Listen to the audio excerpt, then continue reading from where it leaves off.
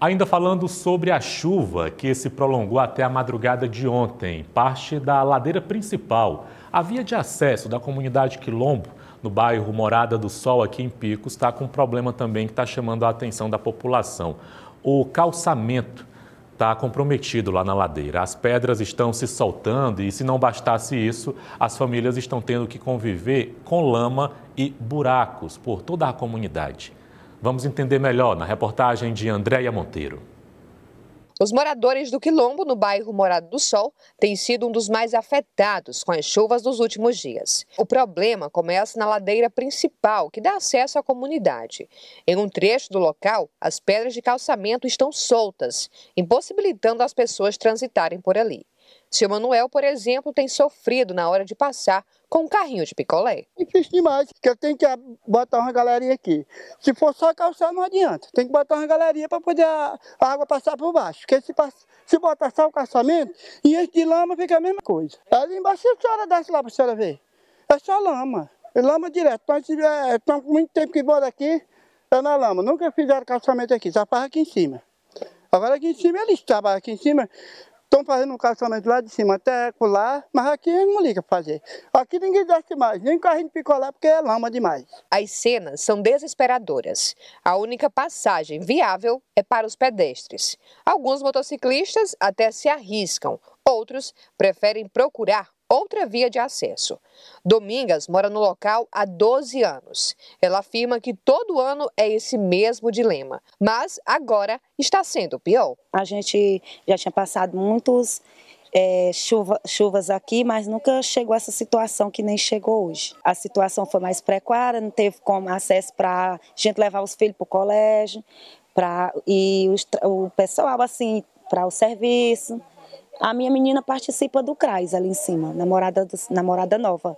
Não teve como a gente levar elas hoje para participar das atividades, porque não tinha acesso para a gente caminhar, passar. Eu tenho minha perna quebrada, não tenho como estar tá pisando na lama. Além disso, as ruas estão cheias de lama e buracos.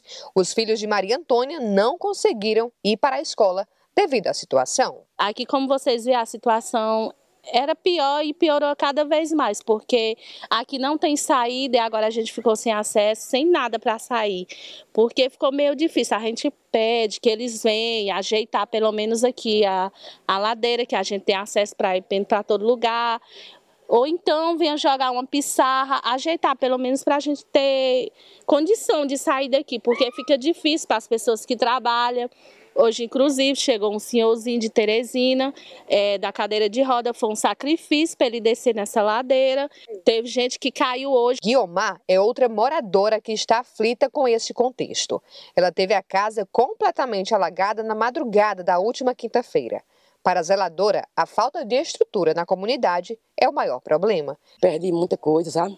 Roupa, calçado, às vezes alguns papéis de, de consulta de, de remédio, foi tudo na água. E aí, minha amiga, não sei como é que eu faço. A situação tá feia, viu? E aí a gente é pedir a Deus e prefeito e alguém para ajeitar isso aqui, minha amiga. Não tem condição não. O povo cai nas ladeiras. É, senhora aqui doente, passa aí, cai. Só buraco e lama. Não tem mais acesso mais subir moto, nem carro. Adoece uma pessoa aqui, ninguém pode levar para o hospital. É assim. Sobre a situação dessa ladeira, um, a principal via, uma das principais vias de acesso da comunidade Quilombo, no bairro Morada do Sol, nós procuramos o município de Picos, a Prefeitura de Picos, através da Secretaria da Defesa Civil. Na manhã de hoje, o secretário João Araújo falou com a nossa equipe sobre essa situação. Vamos acompanhar a entrevista. Na ladeira que dá acesso, Morada Sol, a, o quilômetro também ela se danificou, a chuva levou tudo, boa parte, e a gente está aqui só esperando é, o tempo ser favorável para que a gente possa estar tá fazendo aquele reparo de limpeza na rua e reposição do, do calçamento.